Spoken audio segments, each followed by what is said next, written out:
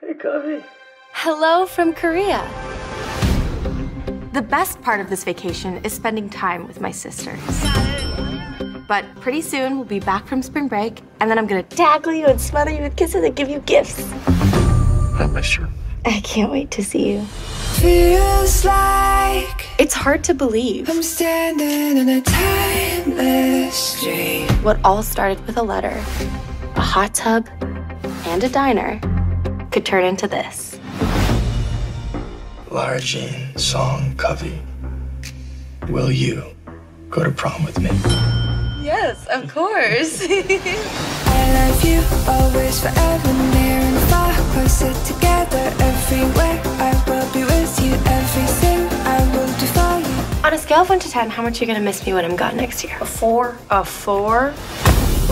I'm glad you and Peter are both going to Stanford. You are not cut out for long distance. I haven't gotten in yet. Make sure that's what you want. It's what I want, and it's perfect.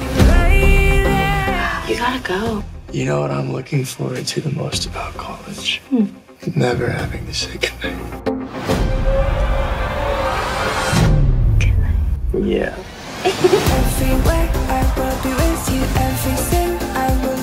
Next stop on the senior trip, New York City! Heather is taking me to a really cool party tonight. Will be with you. Everything I will do for you. I could really see myself living there, you know? We both know what 3,000 miles would do to us. This is a little dramatic, even for you.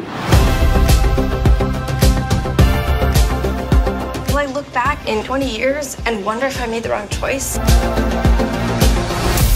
Can you guys turn around? This is so embarrassing. Not a chance, Chrissy. Say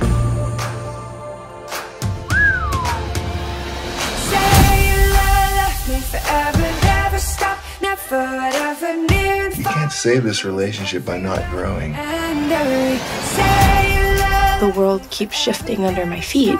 never ever near and far. All I want is for it to stand still. I didn't get in.